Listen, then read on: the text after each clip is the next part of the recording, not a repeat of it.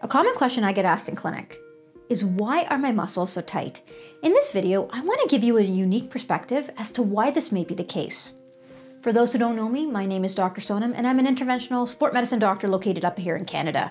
Let's chat a little bit more about why your muscles may be tight.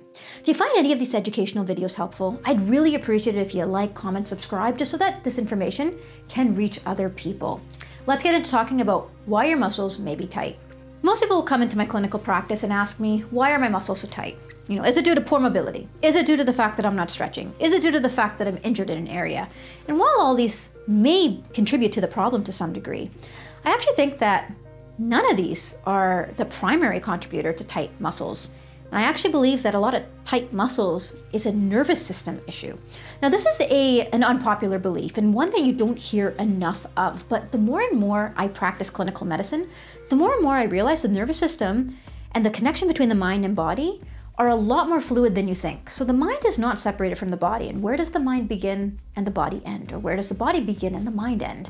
And I think there's a really strong interplay between the two. So, for those who don't know, we have a nervous system, and our nervous system is made out of the autonomic nervous system, which is separated into parasympathetic and sympathetic systems. Sympathetic system is your fight and flight. It is your adrenaline junkie system. It keeps you alive, but it's also the system that starts to act when you're stressed, when you're when you have a lot of stressors in your life, when you have a lot of trauma in your life, when you have other things you have to deal with. The parasympathetic system is rest and digest. And the way that the parasympathetic system works is it relaxes you, it, uh, stimulates your vagus nerve, it helps relax the body so it can repair itself. Now the problem comes is, you know, the sympathetic system can actually store a lot of tension in the body, and we're starting to realize that muscles and fascia are innervated and can respond to the parasympathetic and sympathetic system. Think about it. When you're really stressed, you're going to realize that these arms start to go up and you get really, really tense. And the problem is that a lot of the times you may not feel stressed up here, but your body can actually store a lot of stress.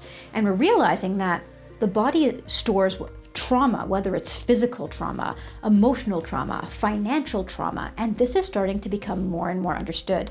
I found that this has gotten much worse since COVID, mainly because COVID was a very traumatic experience for a lot of people. And a lot of people didn't know how to essentially deal with the unknowns in our day to day lives. Now, my biggest issue with trying to talk to people about this is most people want in the Western medical system to just be given something to solve their issues.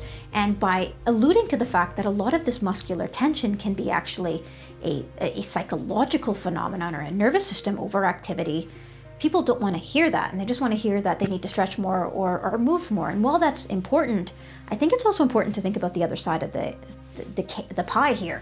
And what that means is it means to think about that, that internal psyche and how your nervous system is functioning. Now, I've believed that actually in the last year or so, more and more people are more open to understanding that the body does hold on to trauma and stress. And if we don't address that underlying trauma or stress, we can't under we can't uh, address the underlying tension that we feel. And the problem is when we have too much tension on board, you get tight muscles, you get tight fascias, you don't move well, you have a higher risk of injury, higher risk of chronic pain, and higher risk of actually generalized health uh, chronic health conditions as well.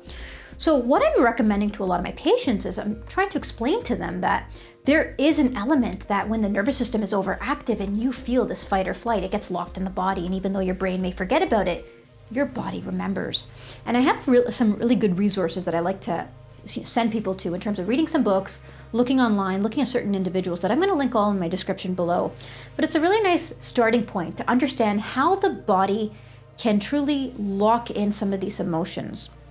And you know, how do we address this? So yes, I'll give people some educational resources, but anywhere from things like mindfulness to things like hobbies that put you into the flow state, time in nature, all of these things are important. Yes, you can biohack yourself, you know, to, to the end of the world, but the problem is until you get to the bottom of the, the psychological part of things, you may not see the true benefits that you're looking for. So I think it's really important to, you know, treat the person as a whole. Even though I'm a sport medicine physician that treats muscles, tendon, and joint injuries.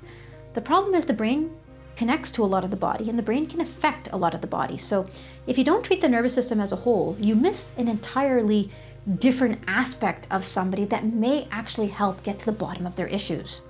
Just some food to, for thought to think about. So this wraps up a unique perspective as to why people may be tight all over. If you have any questions about this, you want to talk about this more down below, uh, leave a comment. And if any of you are interested in seeing more videos specifically about this, let me know and I'll work on them. For now, that's all.